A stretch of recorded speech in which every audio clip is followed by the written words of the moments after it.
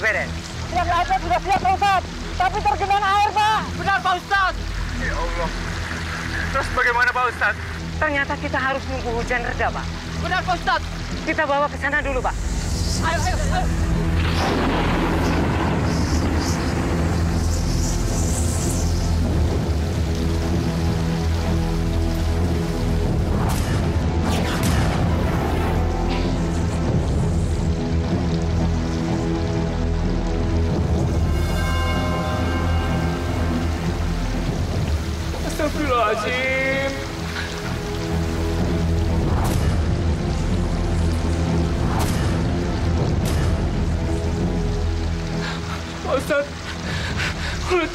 Banyak, Pak Ustadz. Ya Allah, azab apa yang kau berikan pada istri saya, ya Allah. Ini semua salah saya, Pak Ustadz. Saya nggak bisa membimbing istri saya ke jalan yang benar. Memang apa yang dilakukan istri Bapak sebelum meninggal dunia?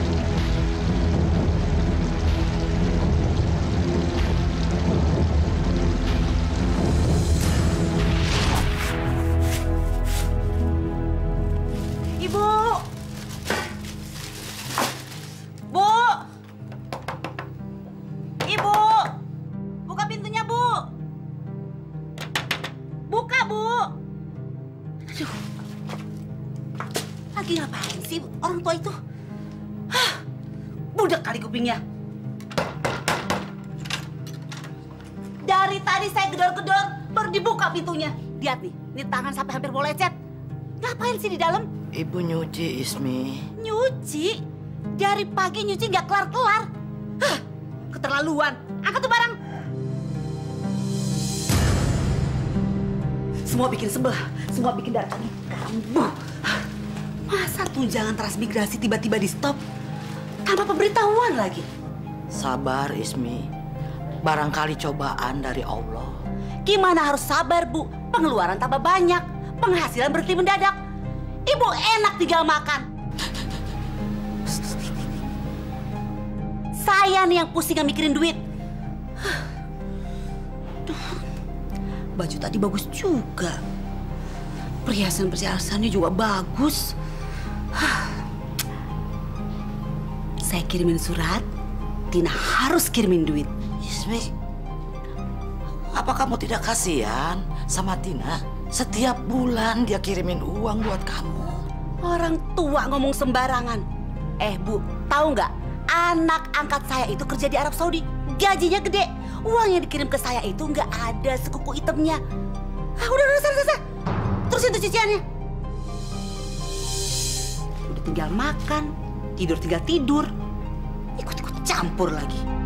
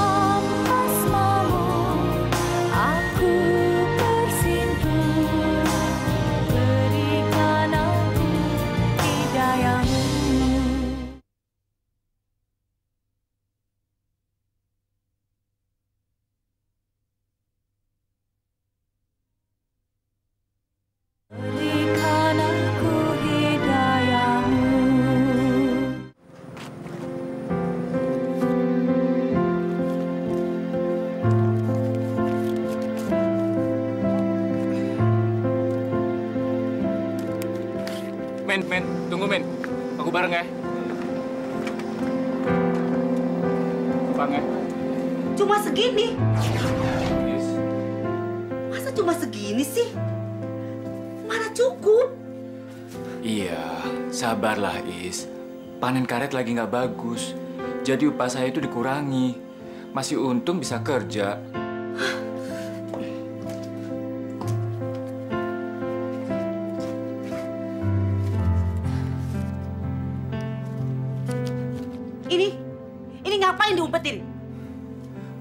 Diumpetin Is. Itu mau buat beli rokok besok. Nggak usah ngerokok. Astagfirullah Is, Is. Ya udah, ya udah. Ayo kita makan. Udah siap, Bu? Udah nak. Ayo Bu, ikut makan sama-sama. Nggak usah. Buat kita aja masih kurang. Sebanyak ini, kamu nih keterlaluan. Ini kan makanannya enak-enak. Lagian nggak cocok sama lidahnya ibu. Ibu tuh cocoknya makan pakai sambal, tempe, sama lalapan daun singkong. Kamu nih keterlaluan. Udah deh, udah deh. Kamu tuh gak usah ngurusin ibu. Kamu tuh tahu yang harus kamu pikirin apa? Cari duit yang banyak. Ini ngurusin ibu.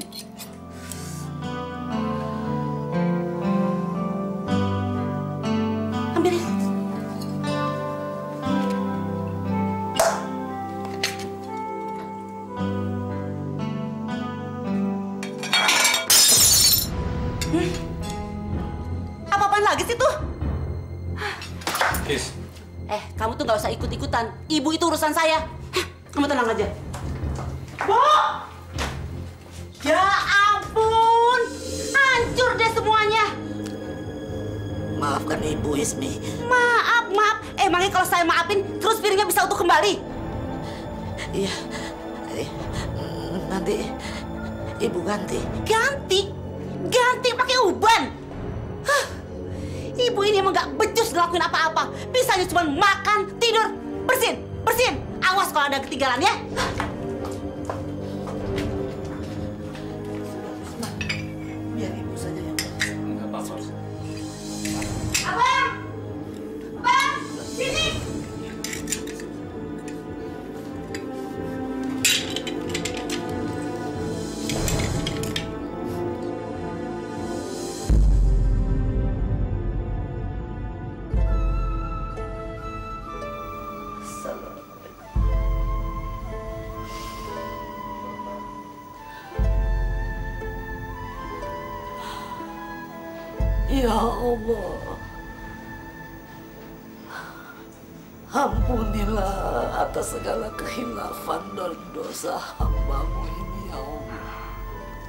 Tunjukkanlah ya Allah di mana yang hak dan yang batil.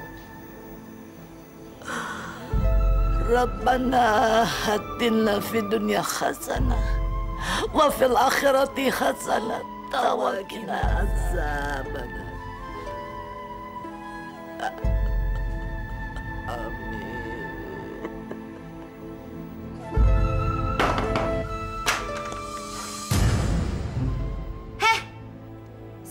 siang-siang begini masih molor. Maafkan ibu Ismi.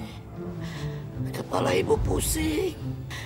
Jadi habis sholat subuh, ibu tiduran lagi. Maaf ya Naya. Alasan, Ada apa memangnya? saya mau pergi. Pulangnya sore. Mentang-mentang saya nggak ada di rumah, jangan cuma tidur-tiduran aja, nggak ngelakuin apa-apa. Bersihin rumah, nyapu, ngepel, siram tanaman. Pokoknya sebelum saya pulang semuanya udah beres. Dengar kan? Iya, iya, iya. Iya, ibu dengar.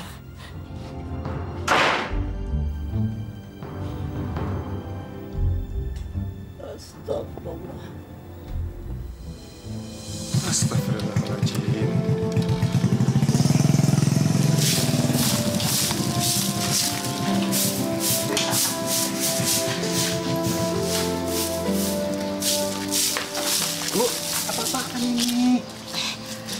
Salir, Oh jadi begini Ismi memperlakukan ibu?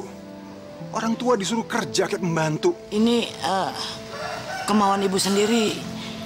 Badan ibu, Lin, kalau tidak bergerak, aduh, pada pegel. Aku nggak percaya, Bu.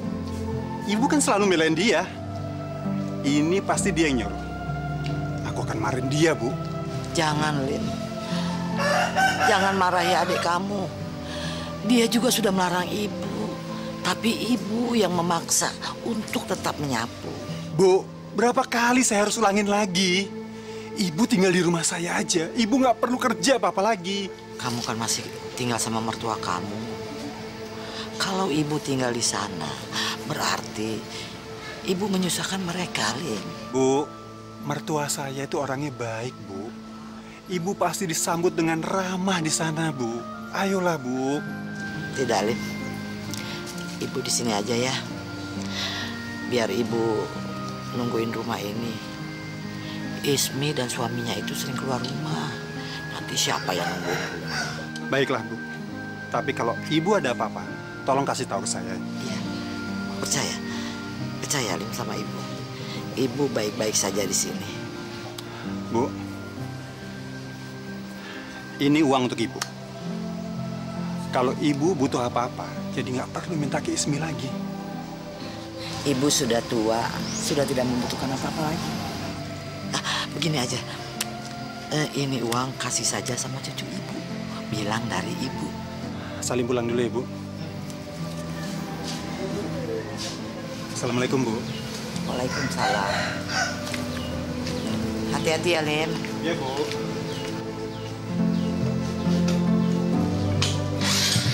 Ibu Ida, masuk.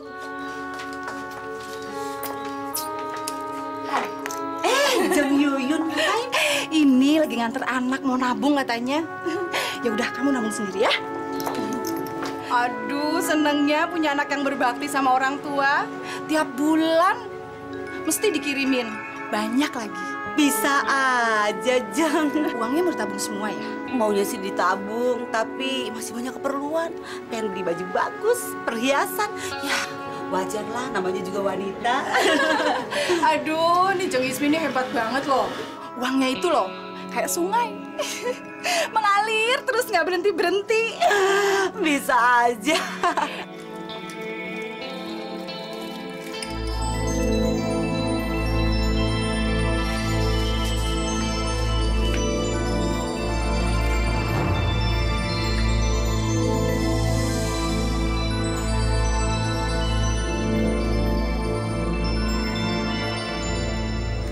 Gini loh Jeng, maksud saya kalau misalnya Jeng Ismi itu punya uang, kenapa nggak buat belajar bisnis aja? Bisnis? Iya. Saya tuh nggak bakat bisnis. Pokoknya Jeng Ismi nggak usah khawatir deh. Nanti belajar sama saya ya, kerja sama sama saya. Pokoknya keuntungannya ah lumayan banget loh. Bisnis apa? Jual beli emas. Hah? Gimana? Mau? Saya ada contohnya loh, Jeng. Sebentar ya. Pokoknya pasti deh.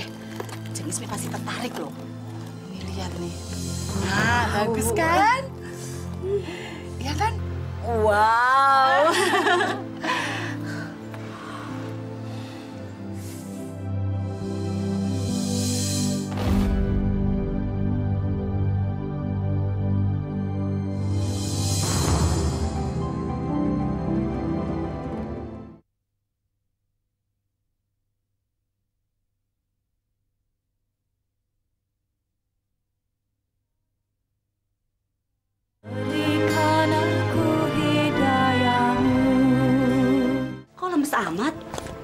Ada apa?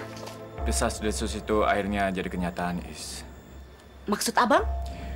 Perkebunan tutup, Bang nganggur. Terus kita makan apa? Iya, besok abang ke kota mau cari pekerjaan. Kenapa mesti besok, Bang? Sekarang aja abang pergi cari kerjaan. Is, abang tuh masih capek. Saya nggak peduli. Harusnya abang udah tahu dong perkebunan akan tutup. Abang udah cari kerjaan, nggak nganggur kayak gini. Tunggu apa lagi? Pergi sekarang. Awas, abang nggak usah pulang sebelum dapat kerjaan ya.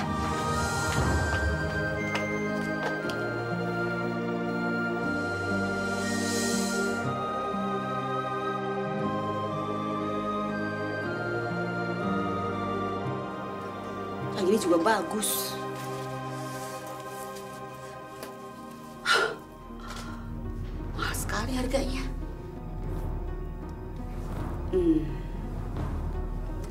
Gimana ya? Kalau gitu jual aja emas-emasnya. Nanti minta dikirimin uang lagi sama Tina. Mbak, Ya. Gimana, Bu? bajunya sih bagus. Tapi gini ya, eh, saya pergi dulu, nanti saya kembali. Baik, Bu.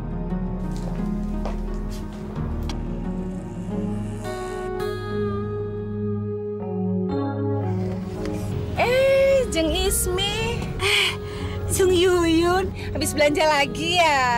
oh ini lihat-lihat baju bagus, jadi pengen deh beli. Gimana, Jeng, bisnis emasnya? Lancar? Aduh, alhamdulillah lancar. Kalau nggak lancar, mana berani belanja-belanja kayak gini. Syukurlah. Kalau Jeng Ismi mau ngambil dagangan lagi, eh, saya banyak tuh di rumah. Baru-baru loh, Jeng, koleksinya. Iya, iya, pasti, pasti saya datang. Jeng, saya udah mau nyampe, Jeng. Kiri, Mas, kiri, Mas. Mari, Jeng Ismi. Ya ampun, ini rumah apa kandang kambing sih? Berantakan banget. Ibu, ibu, Iya nak, kok berantakan? ibu, i- ibu kurang enak badan nak. Sakit apa? Setiap hari ibu sakit. Beresin. I- iya, Nasi udah dipanasin. Belum. Kepala ibu pusing sekali. Seharian ibu ngapain aja? Tiduran sambil nungguin saya bawa makanan? Enak aja, saya capek tahu. Seharian kerja untuk semuanya. Ini enak aja ibu tidur. Udah bersihin.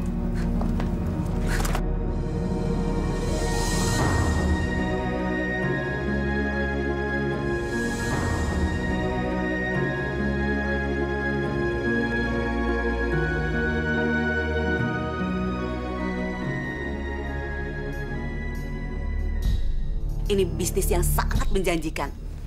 Lihat aja saya. Belum sampai satu bulan, saya udah bisa beli apa-apa. Masalah saya cuma masalah modal. Kalau ibu-ibu berminat, ibu-ibu bisa taruh modal sama saya, terus saya yang jalan, ibu-ibu tinggal tunggu aja mengambil keuntungannya. Enak kan? Kalau kita naruh uang di bank, itu kan uang mati, nggak berkembang. Nah, belum lagi kalau dirampok. Gimana, Bu? Ada yang berminat? Bagaimana, Bu? Saya ikut deh. Saya juga. Saya juga.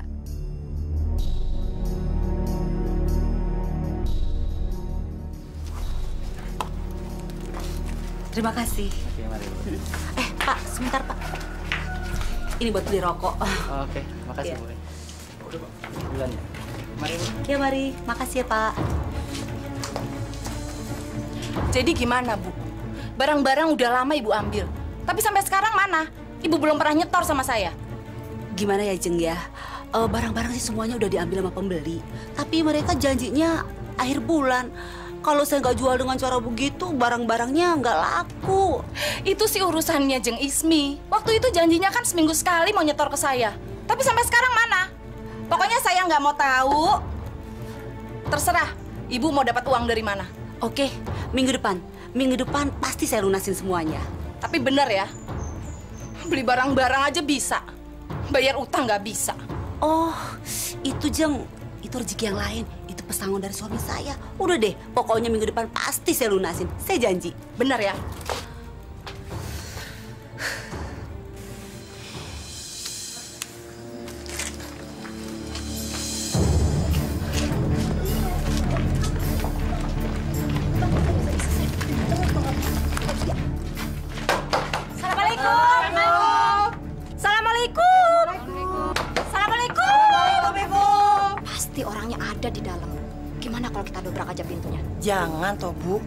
Siapa tahu emang dia nggak ada di dalam. Jangan-jangan malah nanti kita yang disalahin orang banyak. Gimana dong, Bu? Kapan-kapan aja ya, kita kemari lagi. Kita ini, Bu, ditipu, ditipu, Bu. Pokoknya liatin aja. Kalau sampai uang kita nggak kembali, kita laporkan polisi. Gimana, Ibu-ibu? Setuju. Setuju. Setuju. Udah kita pulang aja ya. Ya udah, kita pulang.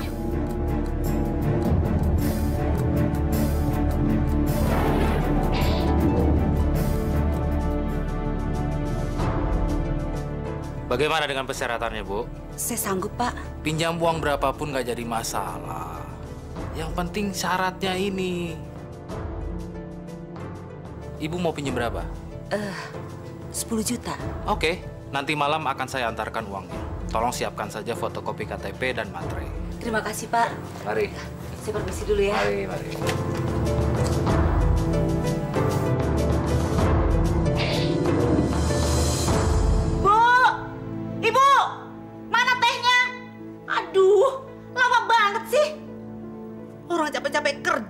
Diladenin. Nih, ibu sudah buatkan. Lama amat sih. Kayak bau terbakar. Aduh, setrikaan ibu gosong.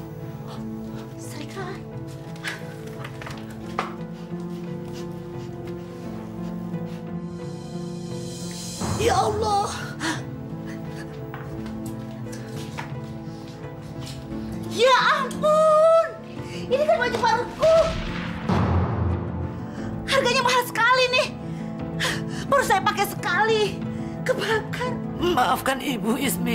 Ismi, maafkan. Maaf, maaf. Ibu hanya merugikan saja di sini. Ibu selalu membuat rugi. Bikin saya sial. Sekarang ibu pergi. Pergi dari rumah ini. Ismi, ibu mau tinggal di mana, nak? Ya Allah. Terserah. Terserah ibu mau tinggal di mana. Ibu mau jadi gelandangan. Ibu mau tinggal di kolong jembatan. Terserah. Masa bodoh. Pergi ibu sekarang. Pergi.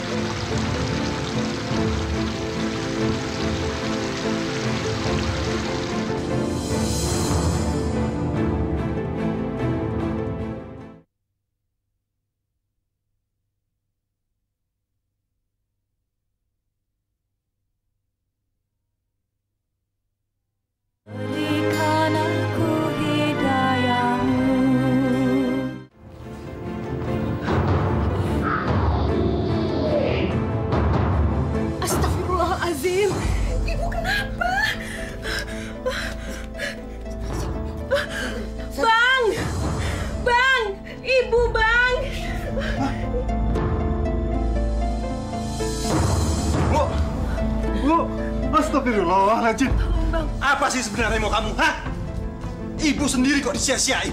Abang jangan begitu. Siapa yang nyanyain? Saya sayang banget sama ibu. Ibunya aja yang nggak tahu diri. Udah disuruh berhenti kerja, eh malah kerja terus. Biar orang-orang iba sama ibu, terus saya yang disalahin.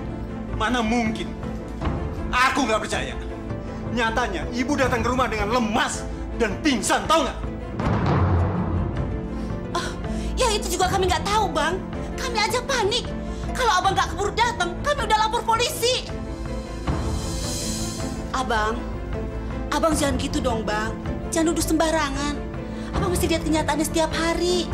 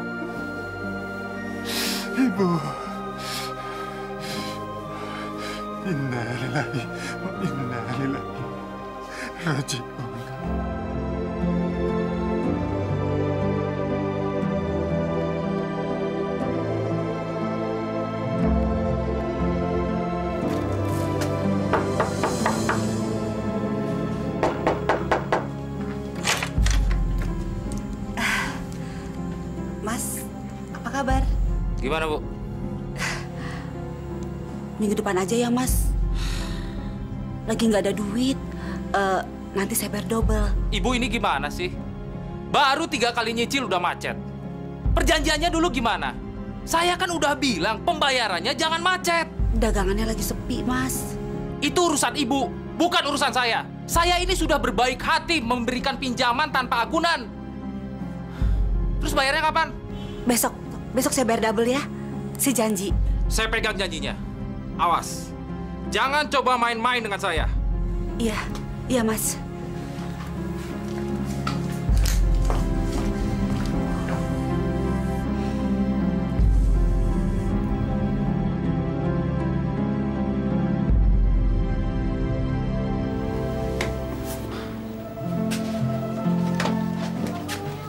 Bu, duitnya baik sekali ya.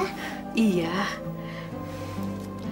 Bang, sangka ya. Yang ngelayat banyak banget. Padahal kan ibu bukan orang sini. Iya. Itu kan mungkin juga karena kesabaran dan kesolehan ibu.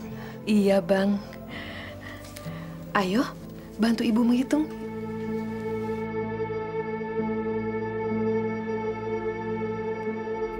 Saya yang merawat ibu. Abang kan merawat ibu waktu pas ibu mau meninggal aja. Jadi saya punya hak juga dengan sumbangan itu. Uang itu untuk ibu juga. Biaya pemakaman aja masih ada yang belum dibayar. Terus biaya selamatan masih ada juga. Dari mana lagi kalau bukan uang itu? Saya dengar sumbangan itu banyak sekali. Pasti berlebih. Saya mau ambil hak saya. Hak apa? Berani-beraninya kamu ngomong hak. Setelah selama ini kamu menyanyiakan ibu kamu. Ah, ayo, mana? Mana hak saya? Sudahlah bang. Nggak enak ribut sama saudara sendiri. Sudah kasih saja. Apalagi cuma uang sumbangan. Kalau kedengaran tetangga kan kita malu. Baiklah. Ini uang saya kasih kamu. Tapi soal dosa, kamu tanggung sendiri.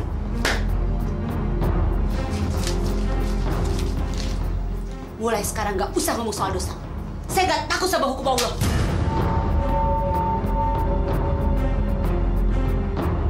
パスタしるな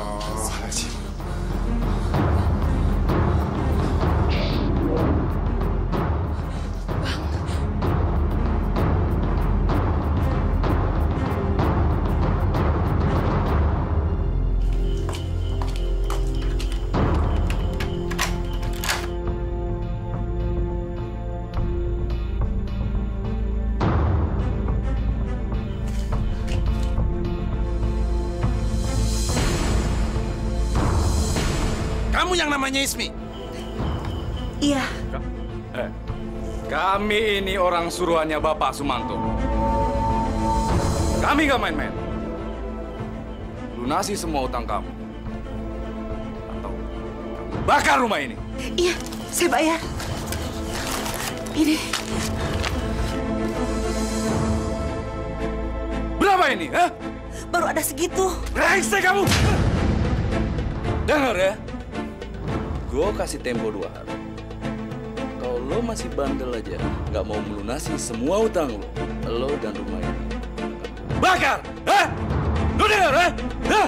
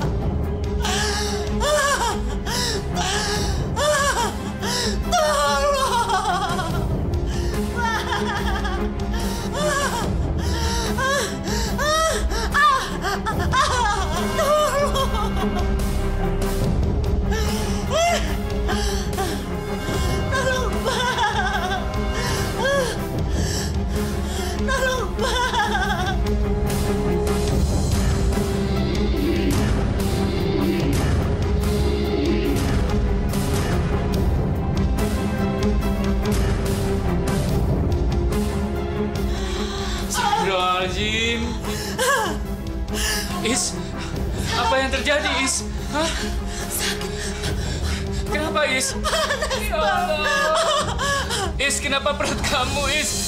Sakit, Ya Allah. Ya Allah, ampunilah dosa-dosanya, ya Allah, Is.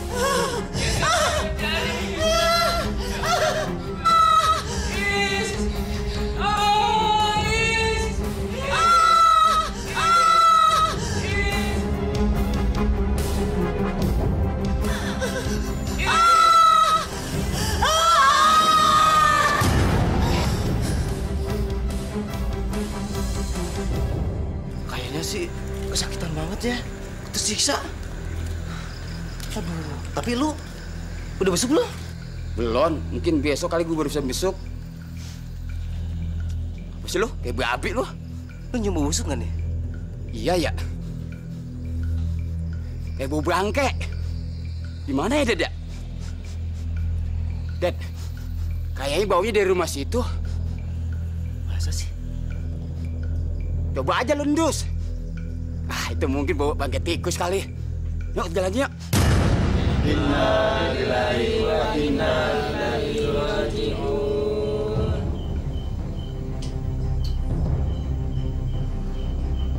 Astagfirullahaladzim, subhanallah. Saya pulang dulu ya. Loh, baru datang kok udah mau pulang? Iya. Saya lagi masak air, gak ada orang di rumah. Saya pulang dulu ya. Assalamualaikum. Waalaikumsalam warahmatullahi wabarakatuh.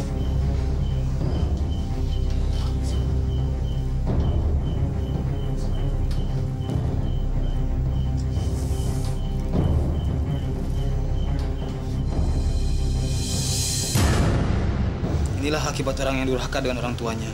Padahal mayat ini baru satu hari. Ini mungkin azab dari Allah.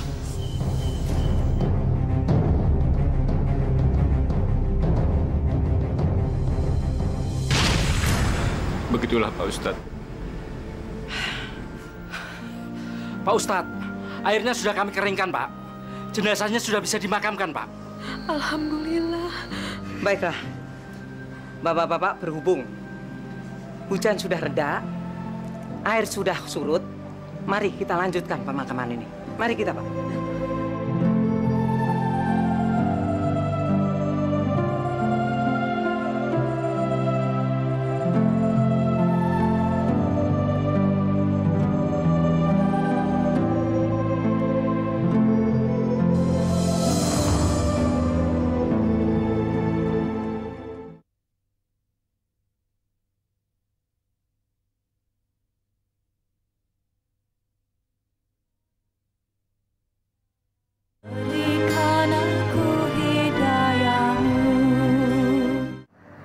Subhana rabbika rabbil izzati amma yasifun walhamdulillahi rabbil alamin. Al-Fatihah.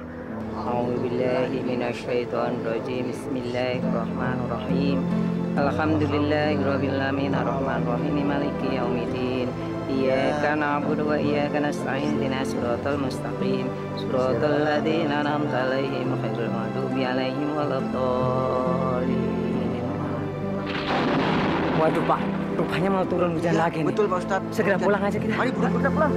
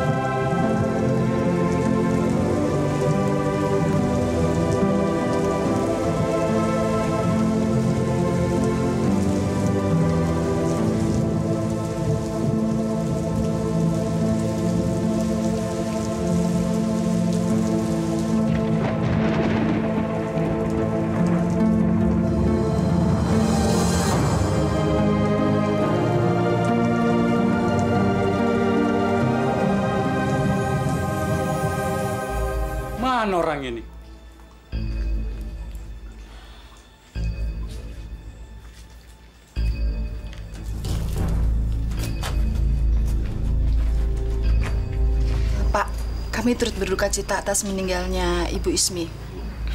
Makasih. Tapi saya mohon maaf, Pak. Saya mau nunjukin ini, Pak, demi kepentingan administrasi, Pak. Betul, Pak. Saya kan harus bertanggung jawab sama kantor. Soal apa ya? Bu Ismi ada utang sama bos kami. Dan itu sudah lama sekali. Sekarang kami datang untuk menagihnya. Tunggakannya masih banyak, Pak. Saya nggak tahu soal itu semua. Dan saya nggak punya duit untuk bayar hutang itu. Kalau kalian mau, silakan ambil semua barang-barang di dalam yang menurut kalian masih bisa dijual. Ya udah, kita ambil aja semuanya.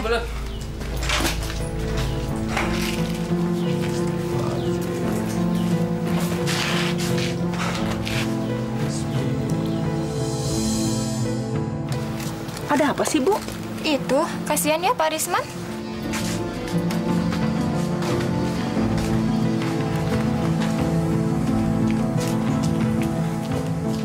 Istrinya memang keterlaluan. Sudah meninggal, masih meninggalkan masalah pada suaminya.